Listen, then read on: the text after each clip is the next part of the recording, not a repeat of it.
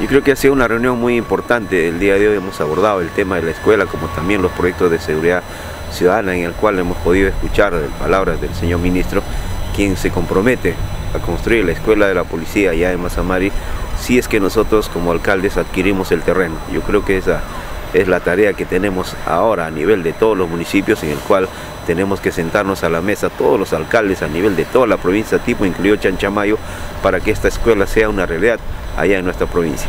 ¿De qué forma se está trabajando con el alcalde provincial de Satipo, señor alcalde? Bueno, con él venimos coordinando varias acciones, varios aspectos para generar desarrollo en toda nuestra provincia, en especial el distrito de Mazamari. Yo creo que de eso se trata, de que sumemos esfuerzos, juntemos para poder nosotros avanzar y hacer un buen trabajo y satisfacer las expectativas de la población.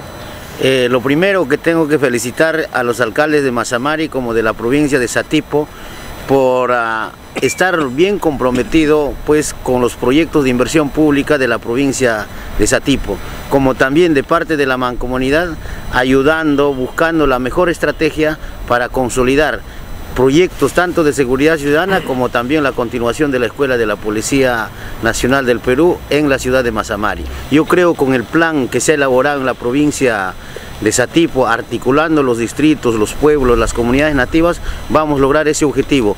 Nos queda trabajar con más empeño, sobre todo teniendo un clima institucional con los gobiernos locales y con las organizaciones sociales de base de nuestra provincia de Satipo. Muy contento, hoy la esperanza vuelve a la selva central, vuelve a toda nuestra provincia de Satipo.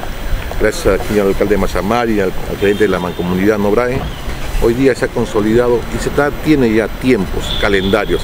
Hemos aterrizado en algo concreto. Si queremos la escuela de la Policía Nacional del Perú, la escuela técnica, necesitamos terreno.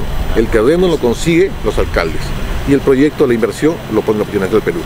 Y otro que también el tema del aeropuerto.